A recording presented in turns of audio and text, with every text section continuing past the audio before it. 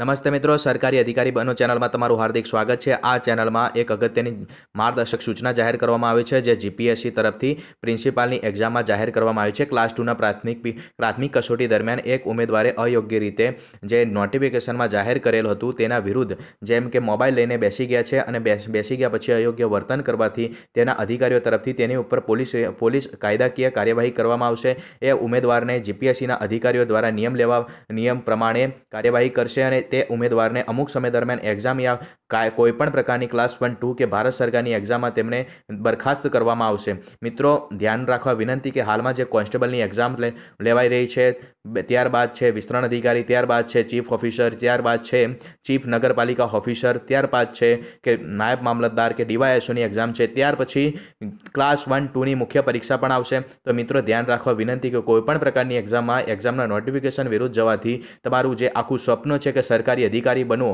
એ અધિકારી બન, બનવામાં ખૂબ જ રીતે તમને હેરાન કરશે અને તમે કદાચ અધિકારી પણ નહીં બની શકો. માટે મિત્રો, સરકારી અધિકારી બનવા માટે તમારી જે નોટિફિકેશન છે, એના નિયમ પ્રમાણે ચાલવું પડશે અને તે તે માટે એક્ઝામ હોલમાં કોઈપણ પ્રકારની અયોગ્ય વર્તન ના કરો, જેથી તમે સરકારી અધિકારી બનવામાં તમને અડચણરૂપ ન થાય.